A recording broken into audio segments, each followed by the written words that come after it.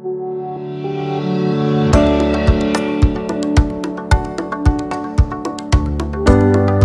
हम बनाने जा रहे हैं अंडा फ्राई। तो अंडा फ्राई कैसे बनता है? चलिए स्टार्ट करते हैं। हमारा सरसों का तेल गर्म हो चुका है, इसमें ऐड करते हैं तड़का। तड़के में हमने क्या लिया अदरक, मिर्च और लहसुन और प्याज को हमने बारीक बारीक काट लिया ऐड करते हैं इसको। इसको गोल्डन ब्राउन होने देंगे। तब तक हम जो पेस्ट हमने तैयार किया है, उसमें हम ड्राई मसाले ऐड कर लेते हैं।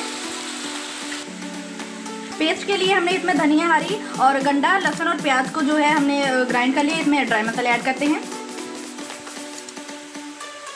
स्वाद के हिसाब से हल्दी डालेंगे।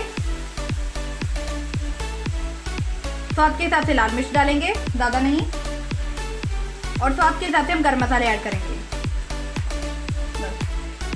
देखिए, हमने ड्राई मसाले इसमें ऐड कर लिए हैं। चलिए तड़के की तरफ़ चलते हैं। तड़का अभी हमारा लाल नहीं हुआ है तो इसको अभी अच्छे से गोल्डन ब्राउन होने देंगे। हमारा तड़का गोल्डन ब्राउन हो चुका है। चलिए इसमें ऐड करते हैं मसाले, जो हमने बस तैयार किया था। इसको डाल देंगे।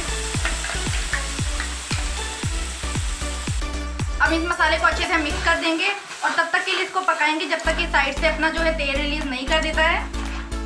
मसाला हमारा पक चुका है, इसमें हमने अंडे को ऐड कर दिया चलिए इसको मसाले में मिक्स कर देते हैं।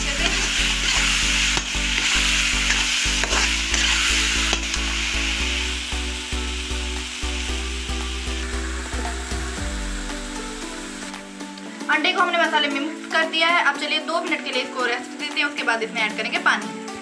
चलिए दो मिनट हो चुका है, इसमें ऐड करते हैं पानी। जितनी आप ग्रेवी को मतलब पतला रखना चाहते हैं, उस हिसाब से आप पानी ऐड करें। तो चलिए हमें इतना ही पानी चाहिए था, हमें इतनी ही पतली ग्रेवी चाहिए थी। अब इसमें हम ऐड करते हैं नमक टेस्ट के अकॉर्डिंग तो एक चम्मच हम इसमें नमक ऐड कर देंगे। आप जितना बना रहे हैं उतना डालिएगा, अब इसको ढक हमारी ये अंडा फ्राई बनकर रेडी हो चुकी है। देख सकते हैं हमने इसको हरी धनिया से गार्निश कर दिया है। तो वीडियो पसंद आए तो लाइक शेयर करना बिल्कुल ना भूले और चैनल को अभी के अभी सब्सक्राइब कर दीजिए, क्योंकि मुझे पता है कि अभी आपने चैनल सब्सक्राइब नहीं किया है। तो मिलते हैं इसी तरह अगली वीडियो में, तब तक के लिए नमस्कार, धन्यवाद। Stay safe stay home and stay healthy